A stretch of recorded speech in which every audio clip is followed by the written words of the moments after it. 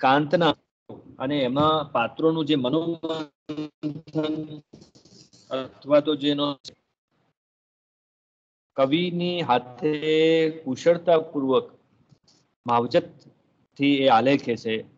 એમાં કાંતની માસ્ટરી છે એમ આપણે અચૂક કહી શકીએ.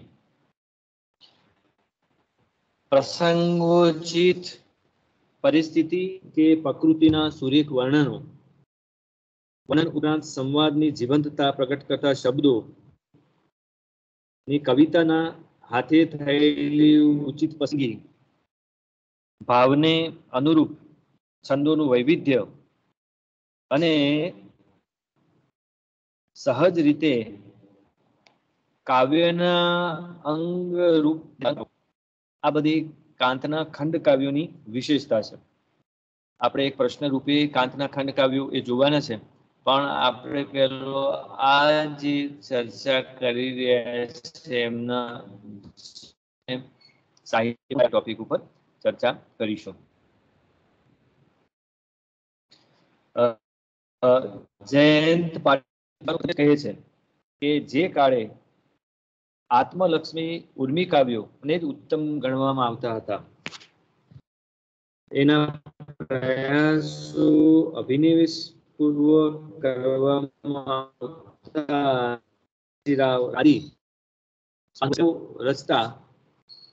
એમાં કાંતનું કાવ્ય છે અથવા તો કાંતની જે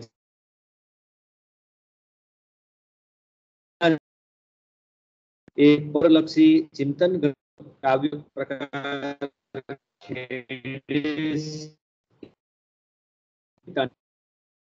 આધુનિક પ્રવાહનું બાકી છે, તે શરૂ છે. અતિ વસંત વિજય, ચક્રવાત, મિથુન દિવ્યા એમના ચિરંજીવી રહેના પામેલા કાવ્યો છે. ગુજરાતી કવિતા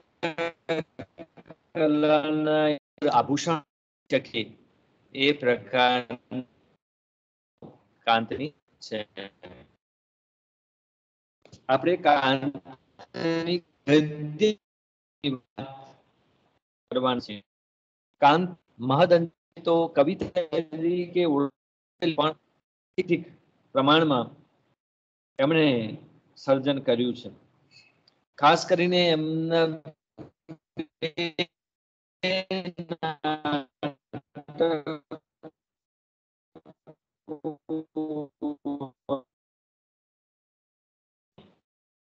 સર અવાજ નથી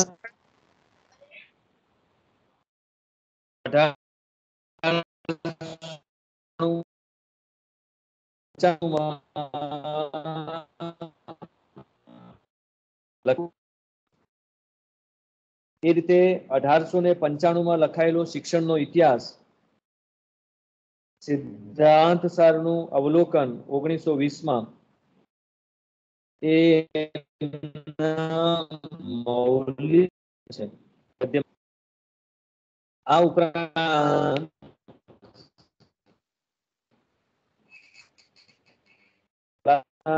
એ પણ એમની બીજી ગદ્ય કૃતિઓ છે, પત્ર સાહિત્ય એક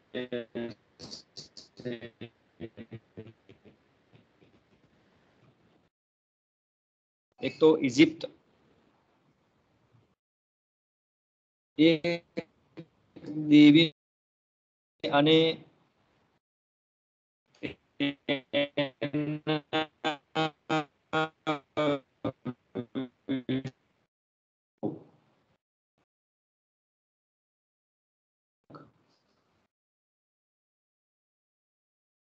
પણ એમણે આપ્યા છે. તો આ રીતે નાટક જીવનચિત્ર પત્ર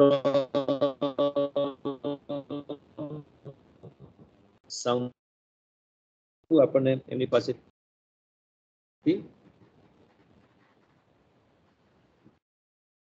આપણે ગુરુ ગોવિંદ છે. તો કાંત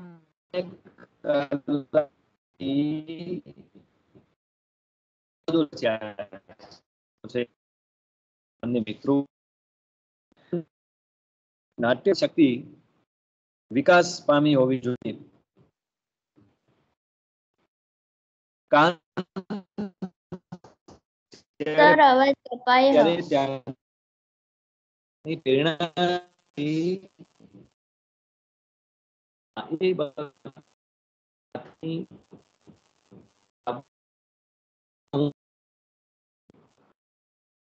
પહેલા પ્રયત્ન કરી. અમુક શબ્દોની તો મહારાજા ભાવસિંહજીની પ્રેરણાથી એમણે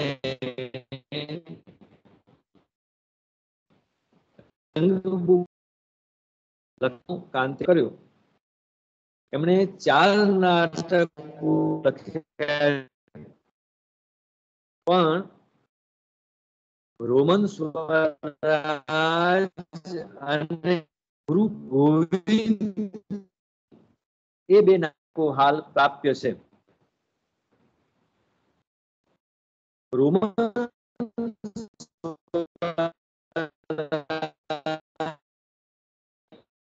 અને વ્યક્તિ છે. પ્રજાતંત્રની સ્વરાજ પ્રાપ્તિ અને એના રક્ષણ માટે જે મથામણ કરી છે એનું નિરૂપણ આ રોમન સ્વરાજમાં આપેલું છે. રૂટ્સ ટુલિયા લુક્રિશિયા વગેરે જીવંત પાત્રો અને નાટકના